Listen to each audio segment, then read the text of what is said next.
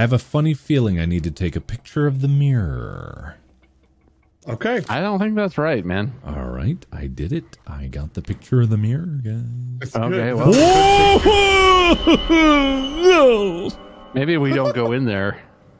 I don't like Oh. Baldwin house.